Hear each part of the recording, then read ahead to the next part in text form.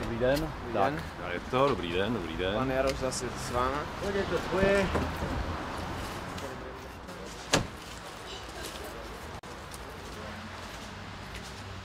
Skutečně si myslím, že to začalo až vlastně s pubertou. Jako. Ale jak jsem začal rozumbrát, tak eh, od 14, od 15 mě rozhodně převážil, jak se říká, ten tragický životní pocit, nebo chcete-li světový názor.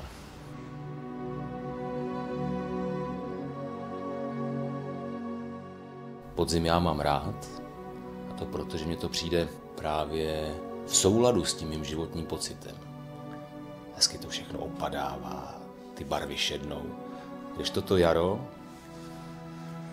známým podmotem řečeno, kytky smrdějí, ptáci řvou, jaro je tady, se všema svýma špinavýma trikama, jakože všechno bude líp a všechno bude krásný a ono, ono vůbec ne.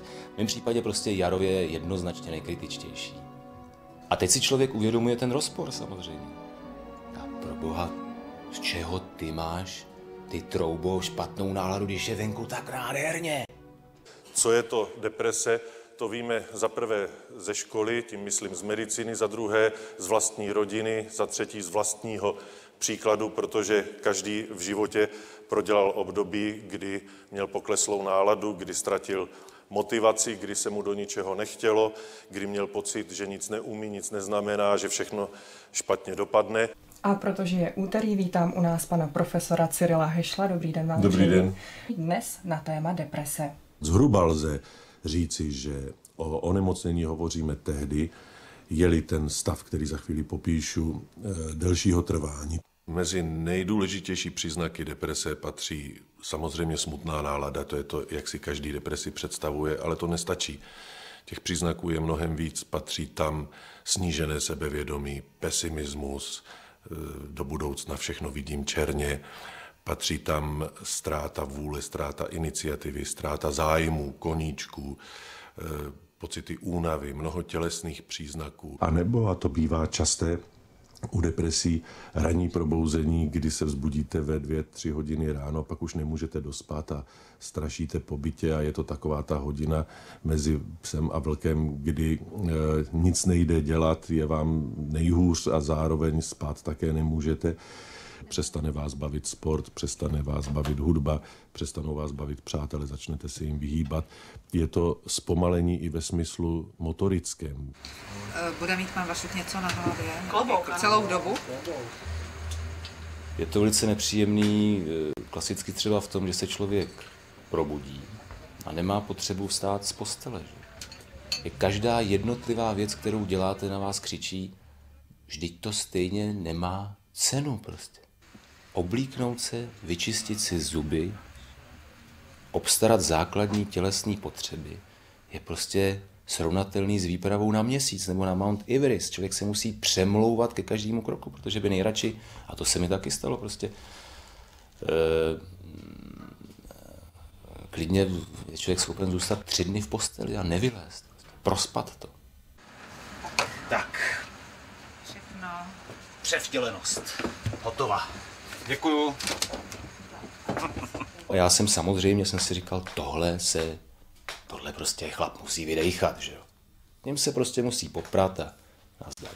Se mi, znovu říkám, nic neděje a to si člověk uvědomuje. Člověk si samozřejmě říká, podívej se kolem sebe. Každý druhý člověk na ulici má skutečný problémy. Má problémy v práci, nebaví ho, má problémy v rodině, má nemocný rodiče, děti, sám je nemocný, má průšvih s prachama. Jsou objektivní problémy. Nic z tohoto se ti neděje. Tak se prostě vzmuž. Alter ego v milisekundě odpoví. No jo, ale ty nejsi oni. No, no, no. Díky za vše. Příští týden máme předtočení. Přetočený a za 14 a dní. za No, 14 tak jo, díky. Tak, tak doufáme, že to tady Tak přežijeme. jo. Mějte se krásně dneska. Když si někdo nechá vyměnit kyčel, tak se s tím chlubí v čekárnách po sousedkách, tak eh, ve chvíli, kdy trpí nějakou duševní poruchou, tak zpravidla má tendenci to spíš tajit. To není vina těch nemocných, naopak je to spíš důsledek ještě stále té atmosféry, ve které duševní porucha je něco, co je přece jenom stigmatizováno.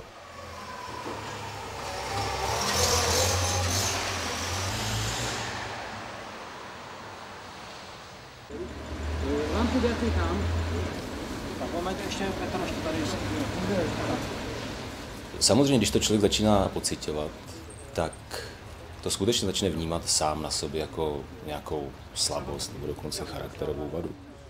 V 30 letech se dá říct, že jsem za sebou měl už slušnou kariéru, jednoznačně na, na vzestupu. Jsem členem Národního divadla, slušně jsem vydělával, byl jsem známý, zdravý.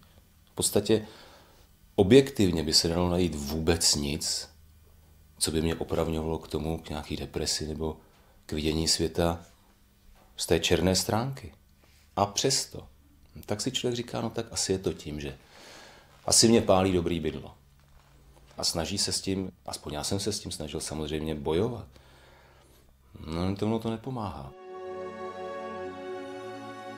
Při depresi víra v osvobození neexistuje.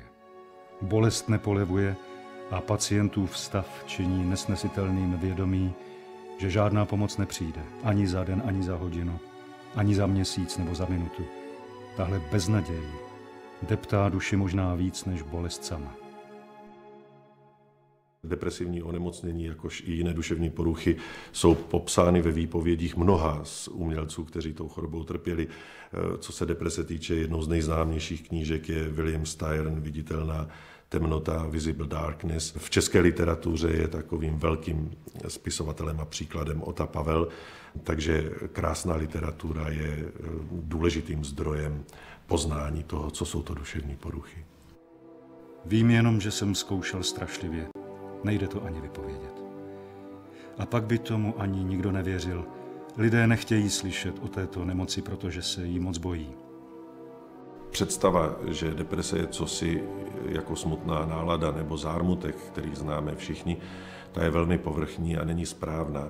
Říkat depresivnímu, aby se šel někam rozptýlit, aby na to nemyslel a aby, aby šel na nějakou komedii, je asi tak smysluplné, jako říkat někomu, kdo má zlomenou nohu, ať si kouká, dá ty kosti k sobě, kdo se má na to koukat.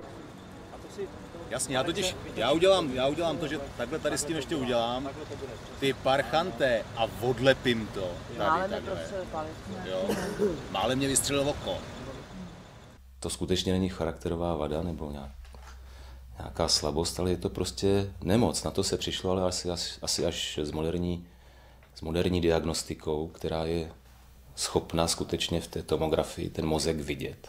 Navlhčíme trochu.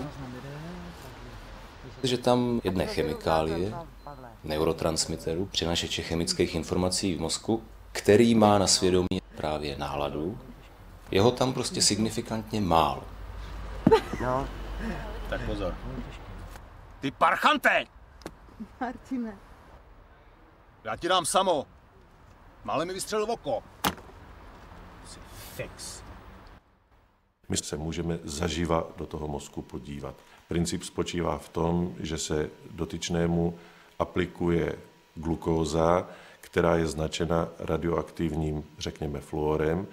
To záření, které vyzařuje, je možno snímat kamerou a tak se najednou vykreslí mapa toho, jak ten mozek nejenom vypadá, ale jak funguje. A to jsou metody, které umožňují zobrazovat duši, kdybychom to měli poeticky vyjádřit. Na tom obrázku například vidíte mozky dvou osob, jedna, která trpí duševní poruchou, druhá, která netrpí duševní poruchou a čím žlutější barva, tím vyšší aktivita té tkáně. A vidíte, že u nemocného je ta aktivita celkově nižší. To červené je kůra, která je méně aktivní, zatímco u toho zdravého je v tom klidovém stavu aktivnější. Celkově ten mozek jakoby pracuje na vyšší obrátky. Je to záležitost, kdy člověku chybí látka tělu vlastní, nebo má mnohem nižší hodnoty než u normálního člověka. Bohužel prostě dramatickým způsobem ovlivňuje jeho náladu a i vidění světa. Jedním z vyhlášených symptomů deprese je ztráta sebeúcty. I já jsem téměř přestal vyznávat sám sebe a ztratil sebe důvěru. Člověk nepřikládá vlastní, vlastní osobě prostě sebe menší důležitost. Jako. A jestliže necítíte, necítíte eh, důležitost bytí tady, protože prostě necítíte smysl v tom, tak pak si člověk jako s tím velice, velice rychle a bez problémů eh, rozloučí ta temnota začne narůstat a začne se prostě rozpíjet, jak inkoustová skvrna, nakonec vás to pohltí tak a člověk si řekne, no tak dobře, tak jaký je to racionální východisko? Prostě skončit to. Bylo to krásné, bylo toho dost. Bojem a šáteček prostě nazdar. Vím docela určitě, že v jednom takovém bezesném tranzu ke mně proniklo poznání. Takový ten nadpozemský šokující objev, že půjde-li to takhle dál, zaplatím jednou tenhle stav životem. Pak jsem se rozhodl, ale tak, co to budu nakonec zbytečně, zbytečně prodlužovat? Sebevražda vlastně činí z tohoto onemocnění onemocnění smrtelné. A také je zajímavé, že po celé země kouli je sebevražednost, tím se myslí počet dokonaných sebevražd, které skončí smrtí, několikrát vyšší u mužů než u žen, v průměru asi dvakrát. Ženy se častěji o sebevraždu pokusí, častěji o tom hovoří, ale muži o tom méně mluví, ale častěji se skutečně zabíjí. Jedna fáze je, když se člověk rozhodne jakoby teda sám za sebe. No, tak se rozhodne a už není co řešit.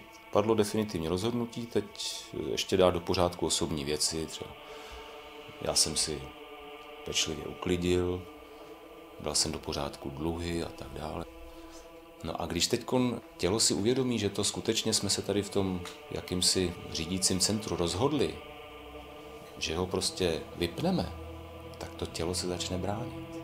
A to tak, že teda strašlivě. Jsem říkal, že setkání s pudem sebezáchovy, to byla jedna z nejsilnějších věcí, které jsem zažil. S tím jsem musel opravdu dá se říct, fyzicky bojovat. Vlastní tělo se se mnou začalo prát. A i když i tohle jsem překonal, tak už pak to vzdalo já jsem si předtím dal doutníče, přečet jsem si nějaký básničky. Byl absolutní už klid a mír prostě.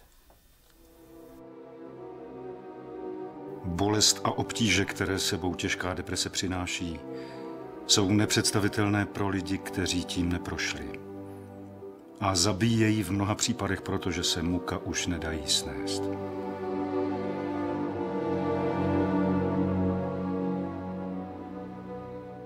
Ten první pocit? No samozřejmě velké zklamání z toho, že se to nepovedlo. A minimálně dva měsíce jsem se denně zabýval teda myšlenkama na recidivu. Teprve až postupně začali zabírat ty léky, tak to bylo lepší a lepší. Ty antidepresiva mají jednu dobrou věc. To neznamená, že žijete v jakýsi euforii nebo něco takového. Ale jako by člověk strašlivě vystřízlivěl a byl pánem nad tímhle, nad tímhle myšlením, který předtím vás dostává do jak, jakýsi vleku. Už vás stáhne za sebou prostě do, po té spirále dolů. Tady si člověk řekne, pozor, jo, tady tomu šéfu já a ne nějaký černý myšlenky, nazdar. Jo? Aniž by to znamenalo to, že člověk změnil názor, aniž bych teď říkal, he, život je krásný. Ne, samozřejmě, ten tragický pocit je, ale vrátil se prostě e, taková jakási praktičnost. Já už, víš, já, já se VIP, víš, co já udělám? Předpokládám, na ten, předpokládám, že máte frak, ten je samozřejmě nezbytný. Nebo ne, ne, ne, ne, bez toho by to nešlo. Bez toho by to nešlo. A jdu. Bez toho by to nešlo. Tak, aha. Jak to, že... Názory na to, jestli deprese je přemožitelná vůlí, se liší. Zásadně se nedá říct, že by byla přemožitelná vůlí, ale existují psychoterapeutické postupy, jedním z nich je takzvaná kognitivně behaviorální psychoterapie, které spolu s těmi antidepresivy, těmi léky, napomáhá eh, dotyčnému eh, přerámovat, přehodnotit své vidění světa, jak do minulosti, všechno, co jsem udělal, bylo špatné, tak do budoucnosti, všechno, co bude, je špatné, protože já jsem špatný. A cestou takových triků, nácviků a domácích úkolů, asi jako když se učíte hrát na housle, eh, se skutečně dá přispět k zvratu té deprese v pozitivním slova smyslu, ale lze ji tedy ovlivnit i psychoterapeuticky. Přemožitelná je, ale obávám se, že nikoli eh, vyloženou své pomoci a nikoli amatérsky vyžaduje trošku profesionální zácvik. A bude tam řada důležitých lidí, jak říká tady pan ředitel, VIPs. Ano. Takže... Předpokládám, že máte frak. Bez něj by to nešlo. Je třeba tu depresi oddemonizovat a odstigmatizovat, prostě protože pomoc existuje. A spousta lidí, když si vezmeme, že depresí eh, trpí, dejme tomu, 10% populace, tak spousta lidí trpí zcela zbytečně, protože si přesně taky říká, Hergot, to jsou takový. A i okolí tomu často nepomáhá, protože to prostě není vidět. Když si zlomíte nohu, tak vám jenom blázen řekne, ale prostě jak to rozchoď, že jo.